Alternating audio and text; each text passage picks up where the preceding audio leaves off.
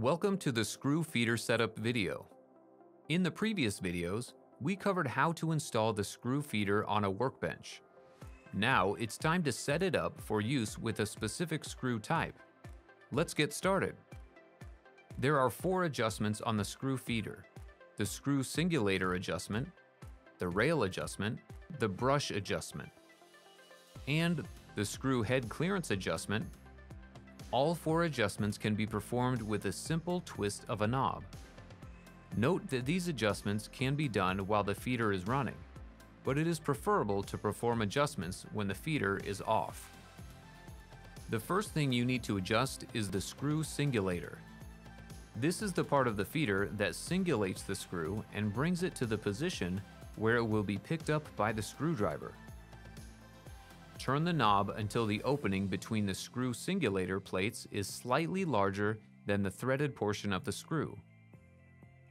The second adjustment affects the rail. This will allow the screws to travel smoothly onto the rail. Turn the knob to adjust the distance between both rail sides.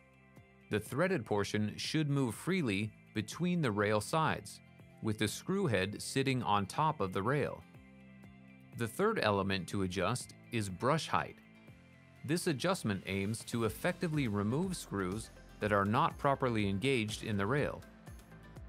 Turn the knob so that the brush assembly barely comes into contact with the screw heads and sweeps off any screw that does not sit properly on the rail.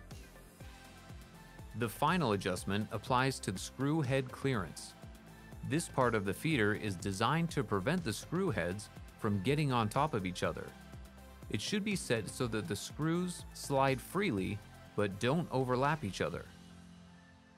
Now, simply turn on the Robotiq screw feeder and watch the screws align one after the other. If you notice blockages or issues in the process, perform additional adjustments to make sure it runs smoothly. If screws are lining up and getting to the singulator, this means the screw feeder has been adjusted correctly. Congratulations! Your screw feeder is now up and running and adjusted to fit your screws.